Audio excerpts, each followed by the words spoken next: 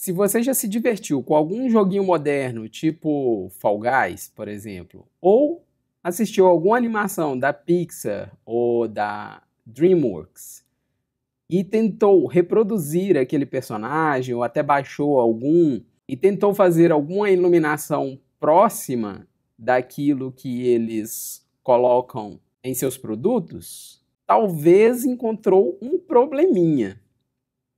Mas esse probleminha é muito simples de ser resolvido aqui no Blender.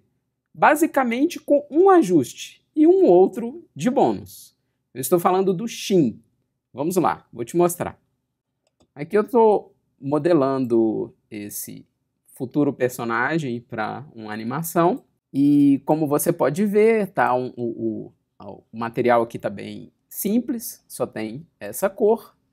Selecionando aqui, você pode perceber que há um roughness, que no vídeo passado eu falei sobre ele, em um, a rugosidade, ou seja, ele não vai ter brilho. E aquilo que eu estava falando sobre a iluminação, e como você viu aparecendo aí na imagem, é o contorno. Quem não tem muita experiência com a criação de materiais vai querer adicionar várias luzes para tentar remediar isso, para criar a luz de contorno. Se você não sabe o que é essa backlight, essa luz de contorno, tem também um vídeo no canal falando sobre isso.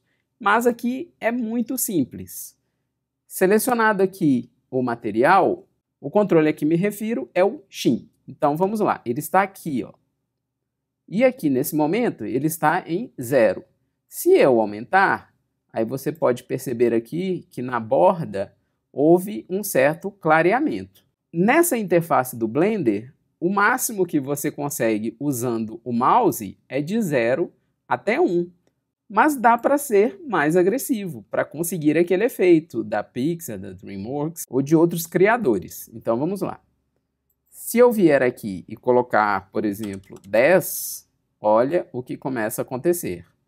É como se eu tivesse luzes ao redor do personagem e ele fica muito mais visível. Para demonstrar ainda mais, eu vou clicar aqui e vou mudar esse HDR para algum mais escuro, talvez esse. Olha o efeito. Sem o Shin, ficaria assim. Quando você aumenta para 1, você tem essa diferença. Mas quando você exagera, você recebe esse tipo de alteração. Para mim aqui eu gostei do 10 e ainda tem um ajuste fino aqui, que é o ajuste da tonalidade desse brilho. E ele está aqui, ó, Shin Tint. Então, se eu aumentar aqui, ele começa a receber a cor da base, que é esse azul. Então, fica ainda mais bacana, ainda mais bonito.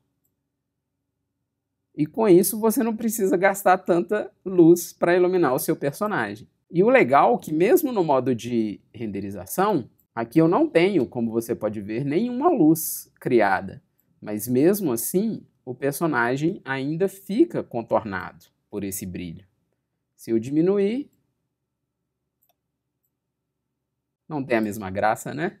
Essa é a vantagem desse nó Principled BSDF ele tem vários ajustes aqui que são bem legais e eu te convido a dar uma fuçadinha. Mesmo assim, à medida que eu for evoluindo, criando mais objetos e tudo, e que lembrar, porque o Blender ele é muito, muito, muito amplo, tem muitas e muitas opções, então, quando eu estiver usando alguma opção e lembrar de você, eu vou fazer um vídeo e te mostrar. Então, um forte abraço, até o próximo vídeo. Tenha uma excelente semana.